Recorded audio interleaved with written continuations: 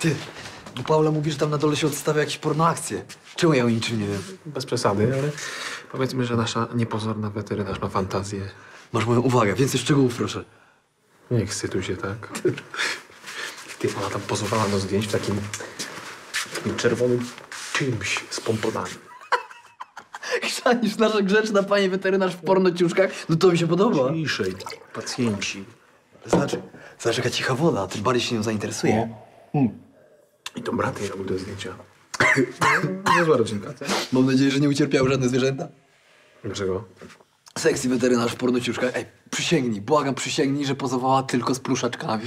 Doktorze, pacjent jest gotowy do zabiegu. No tak, tak, oczywiście, kochanie, idziemy.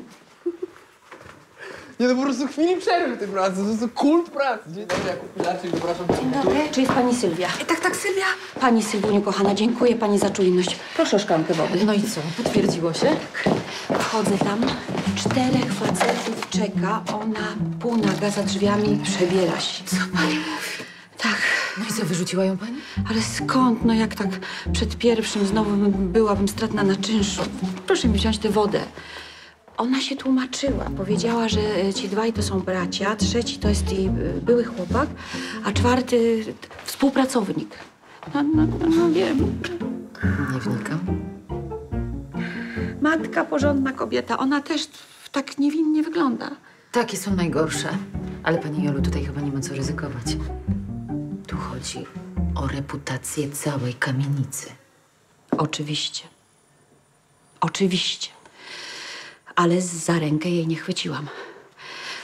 Dlatego, drogie panie, ja uczulam. Jeżeli zauważycie coś niestosownego, to natychmiast dajcie mi znak. Natychmiast. Oczywiście. Tak.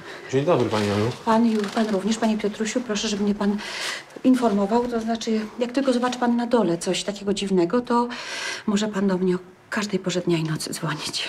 Ale gdzie na dole? To pan nie wie. Ten nowy gabinet, to, no, tam jest porno biznes. Nie, no pani Jolu, może być przesady. Ale to nie jest zabawne, panie Piotrusiu. To nie jest zabawne. A jeżeli oni tam...